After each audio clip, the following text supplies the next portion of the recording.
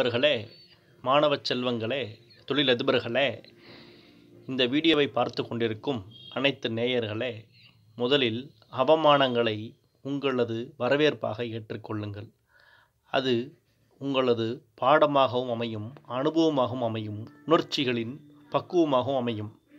இன்றைய தலைமுறைகளின் உயர்வுக்கும் காரணமாகவும் அமையும். நன்றி.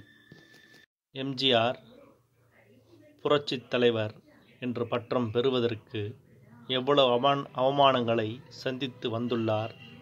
சூப்பர் ஸ்டார் ரஜினிகாந்த் என்று பெயர் வாங்குவதற்கு எத்தனை அவமானங்களை கண்டு வந்துள்ளார்?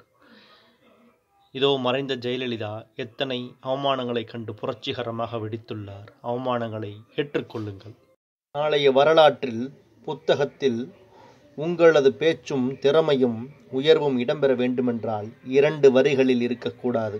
நான் வளர்ந்தேன் உயர்ந்தேன் என்று சொல்வதை விட இவ்வளவு அவமானங்களை கற்றேன் இவ்வளவு உயர்வுகளை அடைந்தேன் நான் சாகும்போது இத்தனை பெயரை சம்மாதித்துத்தான் இறப்பேன் என்று உயருடனும் புரட்சிகரமான திறமையுடனும் என்றென்றும் வாழ்வீராக. உங்களுடன் நான் தீபாவளி வாழ்த்துக்கள்.